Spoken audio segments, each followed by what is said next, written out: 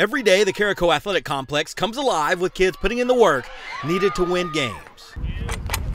The only thing that matters out here is how hard you work, which is something that would make the namesake of this complex very happy. Bill Carrico is a legend in Denton. He was a four sport star at Denton High, an All American and Hall of Famer at North Texas, and even played professionally for a while. But it's what he did when he came back to Denton as a coach that made the most lasting impact. Carrico was on the front lines during integration, and it didn't take long for people to know which side he was on. One of the first coaches that I met when I went to Denton High in 1973 was Coach uh, Bill Carrico. And he pulled me to the side at that time and, and, and, just welcomed me in.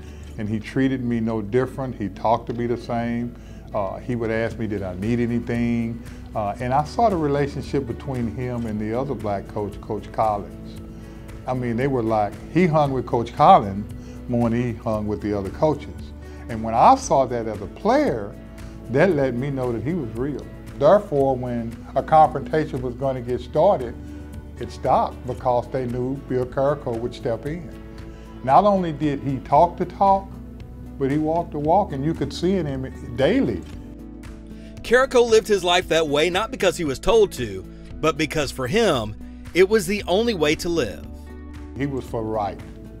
If you were right, you know, if you were wrong, even if he liked you, I was his quarterback, and if he caught me doing something wrong, he would pull me to the side, you know. But he didn't disrespect you when he when he talked to you if something you were doing wrong. He still talked to you with respect.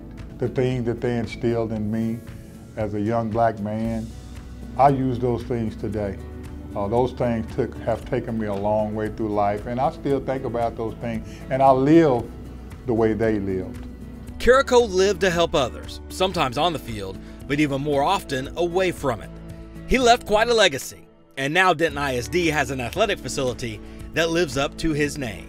I think we have probably the best facilities that I've seen at the high school level in the, in the state of Texas. Knowing that everything is new and we have a lot to use, everything that we need is here, it makes us all want to come every day to use our new equipment. I was blown away. It's just, it's such a great facility and I'm very fortunate to play here all of the visitors that come in, they're always like, oh wow, this is really nice. Like they never say it to us, but you can hear it when they come in.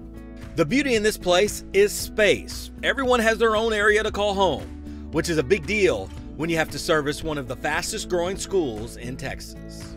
There's not one sport, you know, more important than another. Each each sport has a great space. Each coach has their own uh, office, um, and so I think the just the, the parity across the board with our sports and and the spaces that we have with different buildings and I, I, think it's a great, great layout. It's a very big deal because before we had to share with basketball and it was a mess. Walking into the field house seeing a million people already in there and then you had to join in the chaos and sometimes we'd be late to class and I love it here because it's like a second home to me. It was a real nice like breath of fresh air to get to come here and uh, use brand new equipment and use have more space and everything that just like hasn't ever been used before and just be the first ones, it almost feels like we're getting kind of like spoiled, you know?